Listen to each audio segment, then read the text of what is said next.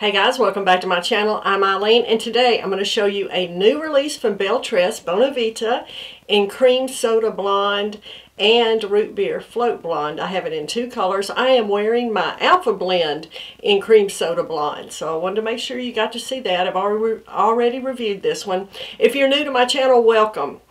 Please like and subscribe. I upload a couple times a week. Also have lots of things happening over on Instagram at Crazy Wig Lady. Both of these styles I purchased with my own funds from wigstudio1.com, so be sure to go over there and check it out.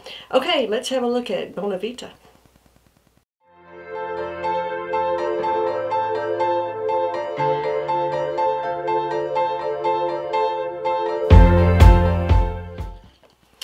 Okay, let's talk about Bona Vita now. Both of these styles, both of these colors, I have just taken out of the box. They still have the tags attached. I have not tried them on. They still have the zigzag part. I wanted to try them on with you. So I just put them on mannequin heads. So we could, first of all, talk about the colors. That's what I wanted to do first. Now, Cream Soda Blonde, I'm wearing it. This is also it.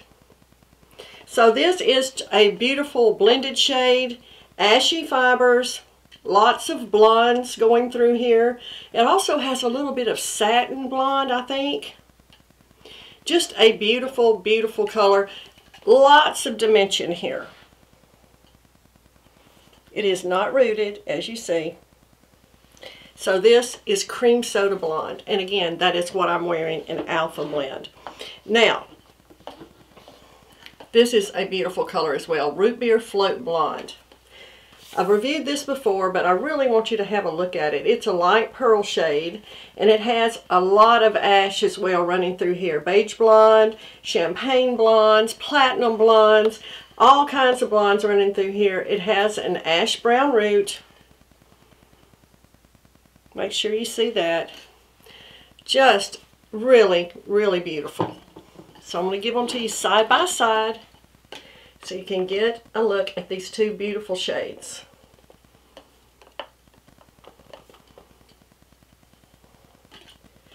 Okay, let's try it on.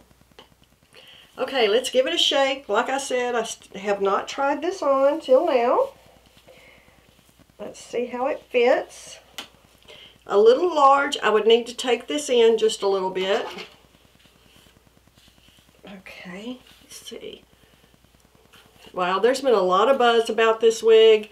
Beautiful bob. I can see why this is nice. Let me fix my ear tabs a little bit.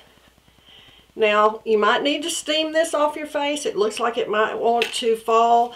Even though I would not probably steam it too much, I think this is the look that they're trying to get here.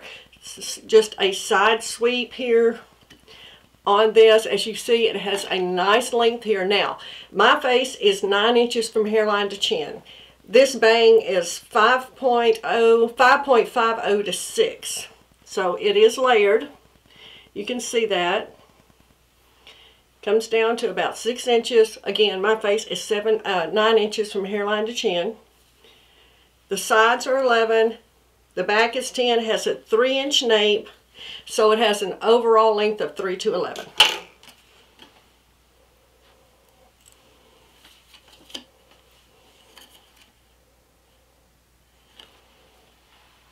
Like I said, I'd have to take this in a little. I find it a little large, super low density. I want to show you the inside of the cap. Again, here's Cream Soda Blonde.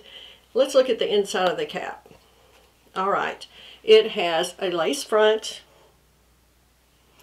a mono part, as you can see, closed ear tabs with stays, open wefted, pull adjusters, and a non-extended nape. And there is a little stretch here.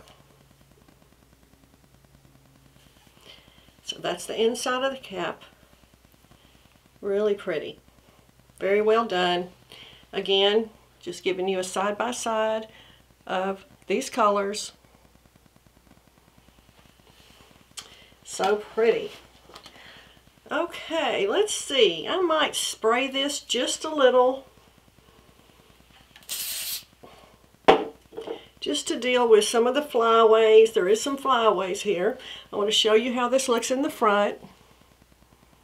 You can get a look at this lace front.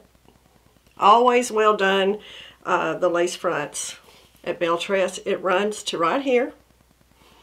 Coverage, there's my bow here. Barely see it there.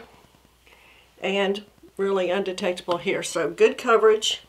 I have a 21 and a quarter inch head circumference. And this is a nice style, popular style. I think this will be very popular. These bobs are just so on trend right now and a bob never goes out of style. You can wear this forever. It's always going to be in style. And this is very layered. As you can see how it tapers around on the front it's a little thinner on the bottom. It's not a one length bob. It's not like that. It is layered like we talked about with the specs. So you're going to have a lot of movement here with these fibers. It is these are heat friendly fibers so of course you could add a little curl to this if you'd like. Make it super straight. You could run a flat iron through this and make it even more straight than it is if you like that look. Um, there is really no permatease here. This is a very, very sleek, sleek style.